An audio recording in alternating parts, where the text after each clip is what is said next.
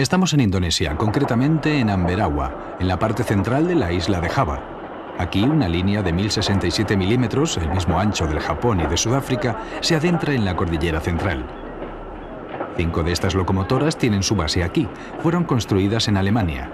Se trata de máquinas Tender 021 fabricadas a principios de siglo, con sistema mixto de adherencia cremallera tipo Riggenbach. Al cabo de recorrer los primeros kilómetros, precisamente en Jambo, la locomotora se coloca en cola para enfrentarse a la empinada subida a cremallera que les espera más adelante.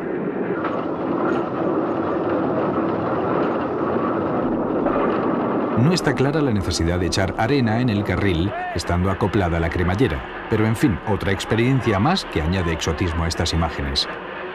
En la actualidad, este trazado de construcción holandesa está siendo operado por locomotoras diésel eléctricas fabricadas por la SLM de Suiza para remolcar trenes mineros.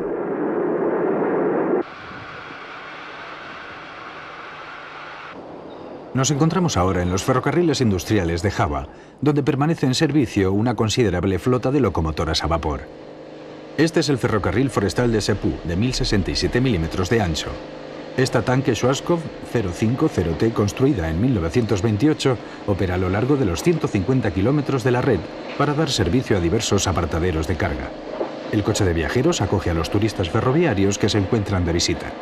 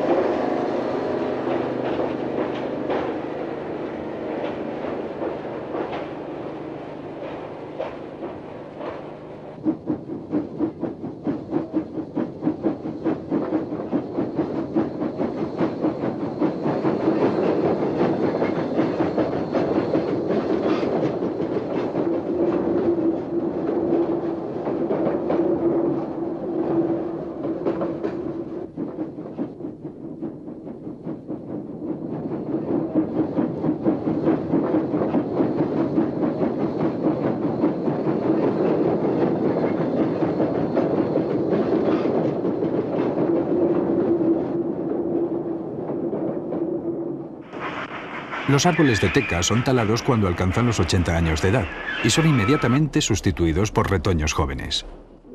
Los troncos son llevados a la vía por medio de bueyes. Después son cargados a base de músculos con la ayuda de alguna cancioncilla que facilita el trabajo en equipo.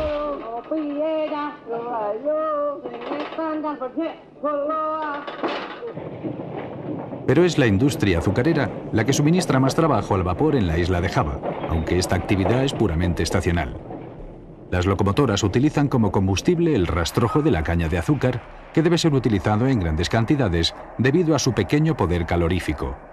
Aunque eso sí, no produce contaminación alguna. Hay muchos kilómetros de ramales en esta línea de 700 milímetros de ancho.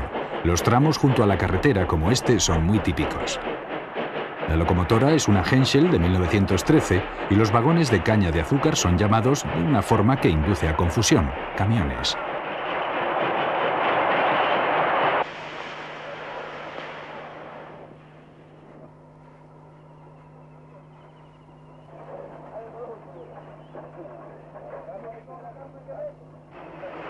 Para la carga de la caña cortada se utiliza un tramo de vía de quita y pon para que los vagones vacíos puedan acceder a la zona en cuestión, literalmente a pie de obra.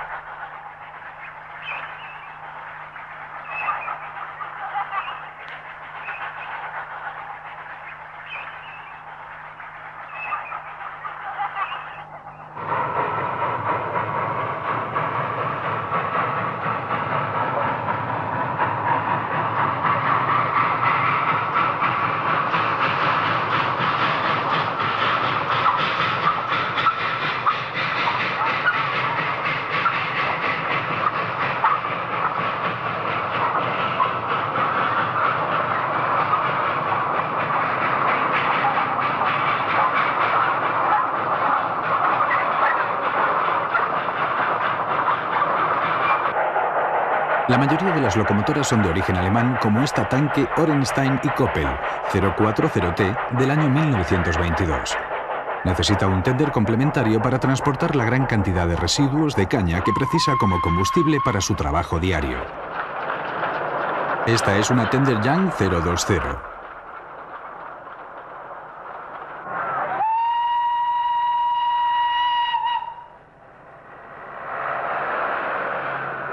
Esta es otra similar construida por Schwarzkopf en 1931.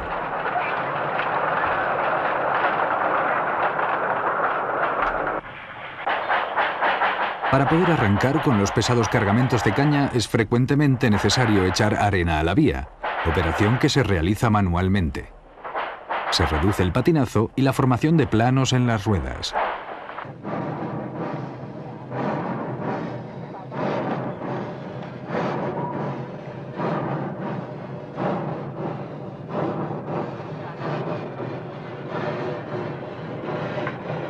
Los residuos del proceso de refino de la caña son transportados en vagonetas volcadoras fuera de la factoría.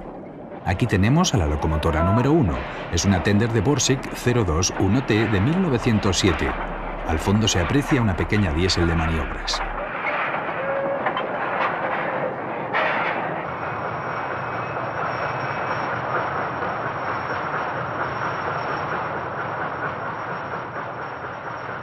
En la vecina isla de Sumatra, las plantaciones de aceite de palma también utilizan el vapor para el transporte industrial.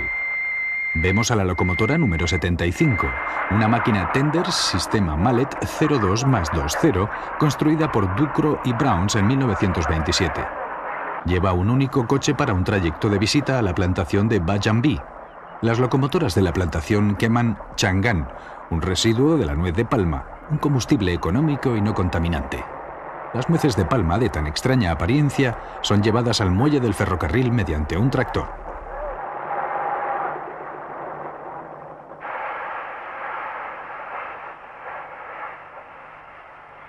La 98 es una de las locomotoras más grandes de Sumatra. Se trata de una Orenstein y Koppel tipo 050T del año 1938.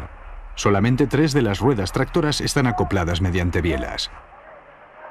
Para dar una cierta flexibilidad al conjunto de rodaje, las otras ruedas tractoras están acopladas por medio de una articulación interna a base de rótulas.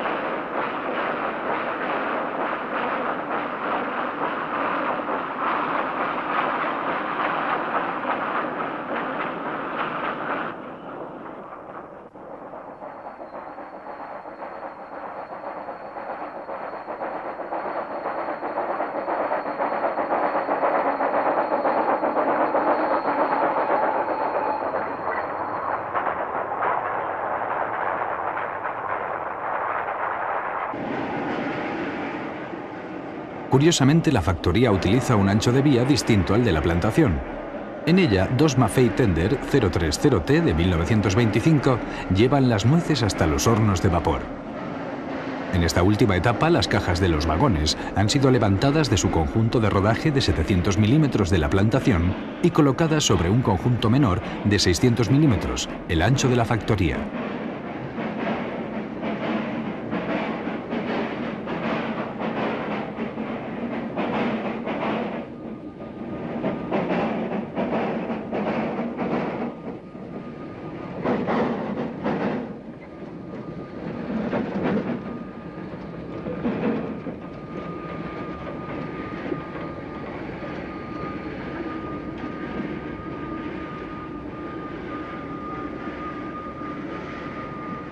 Los vagones son introducidos lentamente en los hornos de vapor. Así comienza el proceso de refino.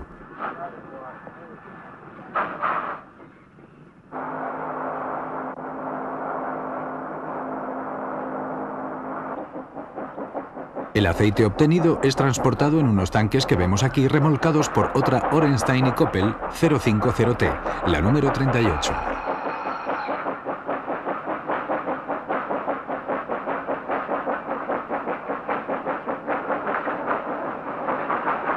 Esta filmación se realizó hace años. Hoy el vapor ha sido retirado del servicio. En su lugar se utiliza ahora el transporte por carretera.